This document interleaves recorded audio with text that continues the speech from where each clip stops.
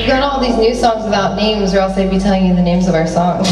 That's not true. This song is called Come Like a Phoenix. oh. Is it really? I thought that was for the other song. Yeah, we have all these temporary names.